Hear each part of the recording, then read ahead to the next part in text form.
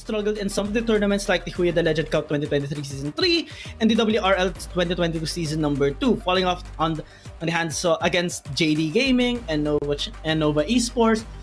But they have learned from that for sure. And now they made the necessary corrections, made the necessary trainings to prevent those instances from happening again. And this is the time for them to actually, you know, show themselves that they are the team to beat. They are the team that is rising up to the challenge and they are the team that can actually take the first swing to an opponent they're meeting for the first time. Yeah, this is the chance for them to prove themselves. And uh, Rolster Y, with the bans that we've seen from the last game, Senna has always been picked during the last three games that we had, and it's always a very big priority for the CN conference.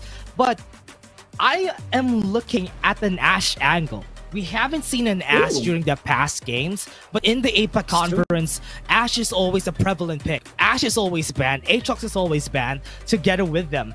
And I'm surprised that we haven't seen that a lot here. Mm-hmm. And well, maybe we can see it in this game. Shen. I, am I'm, I'm looking forward to it. And yeah, given the different, this is the thing, the difference in like priority and champions in the banning and the picking now prevails. A couple of champions rising up, like the Camille, like the Shen being available, and both of these champions are actually heavily favored towards the CN conference. JT might actually prioritize these picks. Yeah if Ro- Rolster Y would be prioritizing that, they do have the, as you said, yes, the six is going to be a good pick here for their side, but I want to see a lot more, a bit different right here for them. Yeah, the Fiora going to get picked against the Camille. I like that. I want to see that. I love that. Ratel as well is very, very strong uh, in this champion. Very high win rate. I believe 65% on this champion. And he needs all those chances going up against Don, if ever. Because he's going to be a key, player here in this game, setting up momentum in the Baron lane, if ever, here for KT Rolster. Yeah. Rolster Y is going to be having a bit of a problem here for because the Gragas was available and they weren't able to pick that up. If the Nautilus is going to be available on the second rotation too, could be a good pick for Rolster Y just for them to counter out. Or not even that. If they want to go for the Braum, it's going to be an okay pick too for Rolster Y just for them to have that easier access to a lot of the CC. Karma, we haven't seen this too during the last game, so I do hope to see this Karma on the bot lane together with the Gragas. They have a lot of wave clear to work with, but looking at it for Rolster Y, they're prioritizing the Galio more, which is honestly good. Honestly good. Mm-hmm. That provides some protection, double global um, potential here for Rolster Y. And that is a good response actually towards the possible engage of JT. Especially that they do possess the Camille, the Gragas, and the Karma. So in terms of engage and disengage potential, that is a lot of angle that JT can actually have in this game. Now, both of these teams are can actually bank on more damage. You know, KT does have a lot already with the Fiora and the Ziggs, but JT might need a little bit more. Let's see what they're gonna do here for for the next rotation of our picks, because the Kha'Zix and Zed are still available. Yeezy and also Zero are good players of this Assassins. Akali is still, or rather, sorry, Akali is down, but they still have the a lot of picks that they can go for here. The Yone is still available for Rolster Y, so they can go for mm-hmm. that angle considering that Kha'Zix is also banned. So that is a good pick here for uh, Rolster Y. I mean, I'm just throwing it out there at the moment. If JT wants to become very, very extra aggressive in this game, maybe 0711 can actually pick up a Lee Sin because he is is really talented in this champion. And that's something that is really favored in the CN conference uh, lineups. Having that that, that uh, engaged priority and also that big burst damage in synergy in synergy with other champions like the Camille, the Gragas, and the Karma can be much beneficial, especially in in lineups like this, uh, like in the side of KT Rolster, wherein they would prefer to group up with the Wukong, the Galio, the Ziggs, I think they might need something that oh. can actually split them up. Oh, this champion has been very much preferred in the CN conference. I am interested to know the, the reason why. I mean, it can do a lot of work, but that's the difference between and the CN. In the APAC, we don't see a lot of, of Xin Zhao's, but in, in the CN, they love it. I do hope to see this, especially for the Xin Zhao. We haven't seen a lot of Xin Zhao getting picked a lot because of the the how linear Xin Zhao is. But on the hands of a great player, Xin Zhao is going to be good, especially in a composition like what Rolster Y has, has a lot of melee champions. That's going to push them back. And that's going to be what's important here for this team overall. Because with JT not even prioritizing the Galio a while ago, they much prioritized the Gragas over the Galio for the combo very easily. I like this Xin Zhao pick because they could just uh, get onto the Ziggs, use the ultimate, and be able to just shut that down as fast as they could. Mm-hmm. And I'm really excited to see this the difference in in in in in style and in taste of this diff very different regions now we see them now we see them clashing against each other the aggressive nature of the CN and the safe side in the team fight base composition here of of KT Rolster I am thrilled to see who is gonna come on, come on top of this Will it be KT Rolster or will it be J-Team? Let us know in the comment section, of course, who are you rooting for? Especially that this is their first time meeting in any sort of tournament. And who is going to land the first blow? We are about to find out in this first game yeah, let's see who's going to be winning on our sides because that's going to be important to note for this one because it's the first game. Our Series 2 is going to be coming up and this is it. This is going to be their stage and this is going to be their chance to prove against each other who's the better team. Hmm. Yazi, Asi, Corki will be uh, looking to poke out Zero for the meantime here. Yeah, given the range advantage, of course can have that, especially at level 1, wherein the Yone doesn't really have that soul unbound as the moment to provide you know additional gap close uh, capability. DY also just helping out a little bit in the uh, the laning phase. And I think their goal is to try and know where 0711 is so that they can track him down and maybe deny a couple of resources against him. I do hope that they have a lot more here for Rolster Y because their composition does really scream a lot of damage, but not a lot of utilities as well. I mean, they have the Wukong. Whenever you don't have a CC on your team, a Wukong is always going to begin together with a Galio. But I hope that they would be able to stay a, sustain a longer in this. When it comes to the late game, I believe that they still would have a lot of insurances to work with, which is really nice for them. Yeah. Oh yeah, definitely. Uh, for sure. The scaling as well on the side of KT is really impressive to see because they have a lot of angles that they can actually take in this game. They can group either group up or have some split push for Ratel.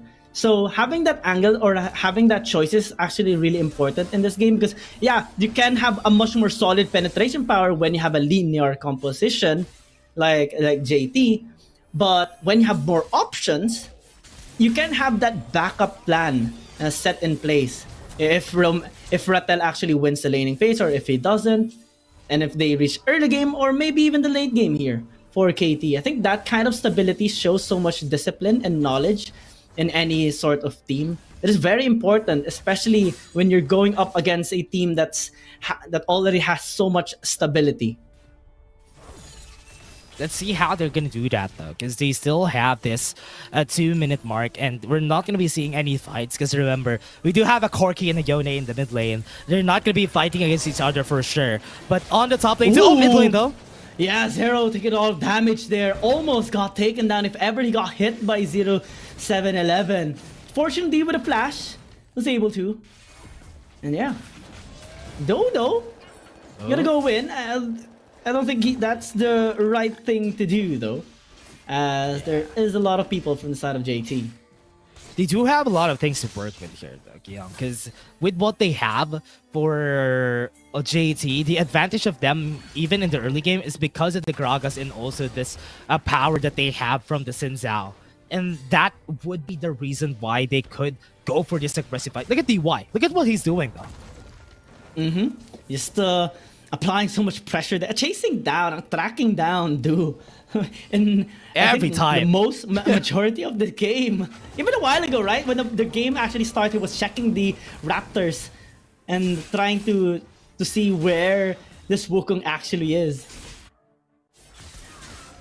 That might be a problem going ahead in the future here, Guillaume, because with what they could have here, one of the problems that they need to face is how they're going to be facing with how DY is playing. DY is a very well decorated player, and you know what he does, and you're seeing it right now. The pressure that he amounts to the members right here of Rolster Y, that's the big difference of uh, Rolster Y against J Team is because they have someone like, look at what he's doing. He's just moving forward. He's not even afraid of anything. yeah yeah that's the that's that's his preference. That is taste. That is what he that that's kind of his responsibility in his job right now. And he's doing a really good job at it. You know just becoming that irritating support messing with the uh, intended rotation of do and while it is a Wukong, he can just uh, try to sneak out of those uh, messy situations. But again, as these attempts accumulate, look, look at it. It's it's actually forcing Due to rotate towards the top side jungle just because of the irritating move here of DY is working. It's messing with his mind. Yeah. This is a must problem here for them because of the way that they played around it. Duh is even afraid of going forward or even taking the Rift Herald as fast as he could because look at that. Look at the top side. They're even going forward. Don 128 wants to even stop them from taking this. Yeah, duel gonna be contested heavily Oh. so much in that, forcing the flash. Now, JT can actually go go towards this Rift Herald. DY going in with DY too aggressive, taking a bit of though. damage, has to flash away, but damage coming Backline! in from the Karma gets the Wukong down. Here comes the package coming from Don. Oh, flashes yes, yes, in. doing a lot of damage. KT has to back away, but here comes DY. Zero in the front, nearly getting the kill onto DY. One for zero trade. JT still has gotten the advantage. That was scary. I thought they're not going to be able to actually do that. But because they were able to survive for so long, Rolster Y did a pretty good job. But oh. J-Team, look at this. Oh, wow. Okay, it got the kill with the Shield of Duran to set it up. Nomel, really good job. Thumbs up. Great start of the fight there. I mean, as we expected, look at this. Look at what happened onto the hmm. back line. Yitzi and also Barry was just looking at the back line while everything is happening right there. And it wasn't expected by Roster 1. Because of that, this bottom lane tower is in danger. Double objectives taken by JT. They actually go in on Oh, the tower. that damage. 257 HP. But yeah, the damage is really high coming in from 0711. Top side, Yezi being contested. The flash by Nomel to get that oh, shield of the run. Nothing that DY can do. So unfortunate for for JT. Can't even do anything. Now look at Ratel. They're at the ready and taking down J-Team here. It's just with what we're seeing so far, right? Um, it's a good thing that Rolster Y has been fighting toe to toe against uh, J Team against this, but the macro, we can see that J Team is gaining advantage against uh, Rolster Y. It's a bit rough, but they know what to do, and that marks the difference between the China Conference and the Roster Y being from Korea. so much aggressive and proactive moves coming in from JT. And well, KT having some angles that they are taking, like getting the kill, uh, getting the kill onto the uh, onto Yezi. But I, I don't think it's gonna be enough, you know, comparing it to the double objective that JT actually has gotten. Plus, you know, a tower takedown due to the the force that Don 128 is actually doing in the bottom lane. So Yeah. with this, a gold is being accumulated and I'm getting nervous here for KT. Really scary, honestly, for K for Rolster Y. They are losing a lot of their space. Look at J Team. Look at that, what they're gonna do to Nomel here. Yeah, they're gonna be diving. Oh, Hero's exit. Bye bye. That's Nomel. Fortunately, he was able to back away. The tower's still safe. JT setting up a death brush. But I don't think KT can actually defend at all on this tier 1 tower in the top lane. They have to give us away. And another small win again. Gotten here by JT. Yeah, another win. and uh, this is they're just not gonna stop on taking these objectives. Look at how slowly this gold lead is just gonna balloon in favor of JT. As long as Roster Web doesn't do anything, JT is just gonna be gaining and gaining on the members here. They pile on. Ooh, almost a uh, an engage there towards 0711. But a 1v1 is still happening here in the bottom lane on the Ratel and Dawn. Ratel unfortunately has to back away. As Dawn is just having a massive amount of impact in this game, very mechanically skilled in avoiding some of those damage coming in from Ratel. KT might uh, might need to fall back for the meantime because them grouping up is not uh, allowing them to get anything for now. Yeah, you're still not getting anything, anyone, because what what is happening right now, Giyong, is that the problem here is is, is still not done. Because with how JT is doing, they're just slowly devouring Rolster Y. Look at what's happening. It's like they're putting a web on the map, and that's why until now, Rolster Y hasn't taken down the tower. Yeah, and that's such a big problem here for KT. Well, they uh, they will dive under the tower. DY actually doing a really good job here, trying to prevent Yezi trying to fall back, flashes away, but unfortunately will still get caught there by Do. A lot of resources used in the bottom lane, as well as four people. You know, but good job by DY actually preventing some of those recalls. So now push is being done in the mid lane. 0711 gonna be engaging here as Barry actually flashes, oh. enforcing that fate sealed by zero, but they still will get the tower. Top lane is also being pushed. The Camille Dawn is going in. Oh, the mid Dawn, lane what? gets the kill onto the Yone. Wow, that is just so much. uh, I mean, you you got killed as well, but still, that is a that is a gold taken there against KT. Yeah, really good for J Team to actually do that. They got some two kills on their side though, which is pretty important to note. And now with that, they can start and take it again. J Team, not even faced with the kills that they gave. They are just gonna be taking objectives for objectives and don't even care about what happened. Yeah, they, they they're getting everything, and and the side here of JT anyway. And 11 minutes in, we're slowly seeing more and more gold lead going towards the hands of J Team. And KT, yeah, they're they're playing it slow. Yeah, they're setting up some picks, but it's not really having the best impact that they intended to have in this game. And yeah, okay, you, you have that uh, that late game scaling with Yone, with Fiora, but at what point will you will you you know hold on towards JT's aggression? At one point, are you going to be giving those advantages? Because the scaling of of JT's uh, lineup is also present, especially with the Corki. A while ago, we saw its damage doing massive already, despite it being like 9 minutes, not 10 minutes into the game. And as the game goes on, he will get more. And, ooh, okay. If they are going to be trying to get the kill onto uh, Dawn 128, they will do. That's impeccable timing and unfortunate there for J Team. But now it gives an opportunity for KT to maybe get something across the map. Yeah. With that roster, why even just taking the kills, and this is what advantage they would need. Opening up the map a bit, and they want to go for the bot lane whenever they want to, but though, we'll be able to see one, and DY is going to be the target here. Yeah, Chain CC forcing the flash, but oh, Do won't wasn't able to close the distance. Oh, there's 7-Eleven though getting caught and it forces JT to actually group up as well. Nice use of the cask! And they will Ooh. punish that over aggression. Now it becomes a disaster alive. for KT and here comes Don 128 wanting to get his revenge. Two people killed already and no one will fall down on the side of J Team. One tower on the board for Rolster Y top side, but they got the kill there just because of the great use of the cask, as you said. That way, that opened up the fight, and DY got his revenge. He was able to fight against his bullies a while ago. Yeah, definitely such a an unfortunate case there for for Rolster Y. I mean, well, it, at, at least Ratel was able to split push a little bit towards the top side now is in the bottom lane trying to, you know, get that same impact. So, however, here we do see uh, a higher view on what happened. Yeah. Yeah, that was nice. that was Yeah, a nice. that was it. That was uh, a good view.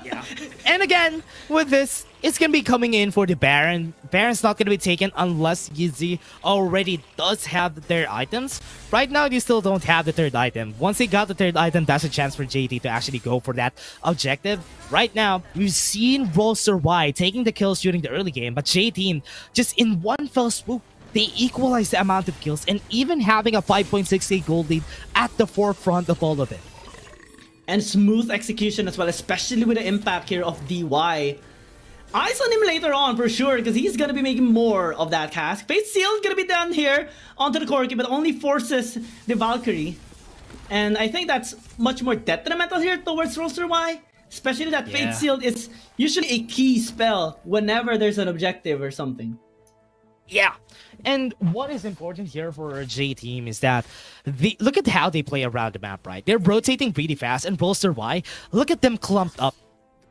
This is the difference between uh, this J team and Rolster Y. The way they play around whatever is missing, they're forcing them to react and they play around wherever Rolster Y isn't there. Because when Rolster Y isn't there, that's an easy objective, that's an easy farm angle for J team. And that's what I want to see for the macros with this incoming teams, and that is expected for teams in the Chinese conference. macros, micros, economy as well, going towards JT's favor, basically in this game. And we do see the kind of difference in in this re- in both of these regions so far, and it's heavily being in favor of JT. Might be uh something cooking up towards top lane by Rolster Y, but they won't be able to spot anyone out since uh, Yezi already fell back.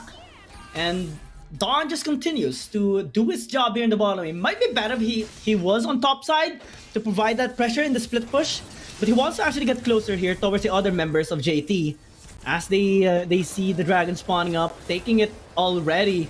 Dawn just uh, Whoa, going out, but they knockback. actually go in once again. Wow, Forced so much away. damage. Yeah, they can take this And they easily. actually steal it. No steal. Zero gonna be going in, but actually being done with the Hextech ultimatums. He will be falling down. Megan Furlong JT doing winning. nothing in terms of damage. Can't do anything. Zero, seven, eleven with all those sustained. Goes golden as well. Here comes Oh, the stun! Yeah, you get that one for one, but still, JT just killing every single member of KT right here, except for Nomel. But what can you do when you're all alone Okay. here in the mid lane? Yeah, but one of the things that we've seen there during that whole fight was the way they played around the isolation. They do have Barry, or rather, they do have Yetzi and even Don 128 during that fight, and that's the reason why they were able to win. They isolated two targets, that's easy for them, but now they might be able to end this game. Yeah, nothing that Nomel can do. Wave is still That's a very game. healthy here. And in 17 minutes.